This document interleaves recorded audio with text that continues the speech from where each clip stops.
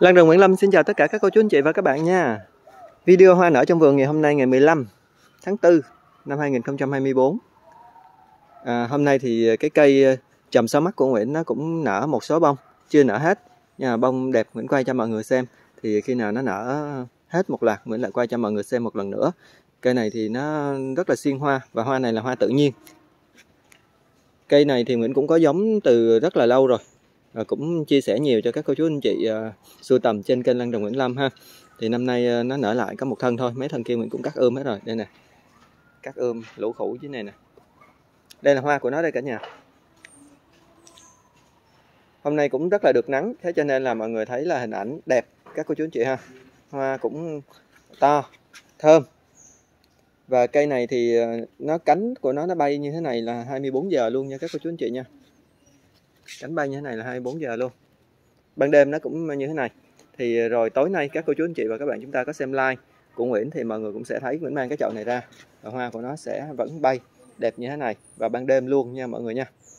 Cây trầm sáu mắt thì vẫn còn ờ, rất là nhiều nụ ở đây nó chưa nở nè.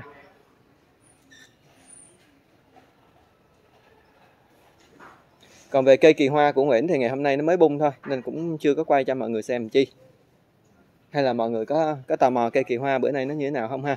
Để muốn cho mọi người xem cây kỳ hoa.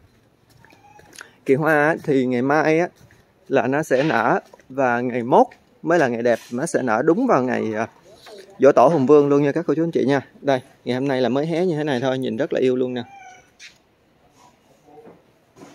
Kỳ hoa.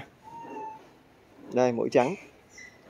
Cây trồng ở bình phước cánh của nó gần như trắng luôn mọi người nha đây rất là ok luôn này. đó là kỳ hoa. À, còn long khánh á, thì khả năng là cũng hy vọng là sẽ nở đúng vào dịp dỗ tổ hùng vương luôn. Các cô chú anh chị nha hôm nay là mùng 7 âm. Đây là chậu long khánh nè các cô chú anh chị nè chậu long khánh này. Thì khả năng là sẽ nở đúng vào dịp dỗ tổ.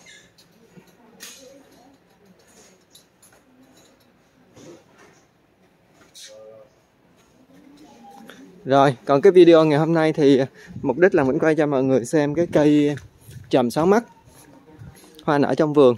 Giống thì bên em vẫn có ha. Anh chị nào muốn sưu tầm giống thì cứ liên lạc với em qua số điện thoại 0961 851 766 các cô chú anh chị ha. Rồi, Nguyễn xin chào, tạm biệt và lại hẹn gặp lại tất cả các cô chú anh chị uh, trong những video hoa nở tiếp theo. Một lần nữa, ngắm lại trầm sáu mắt để kết thúc video hoa nở trong vườn ngày hôm nay cả nhà mình nha.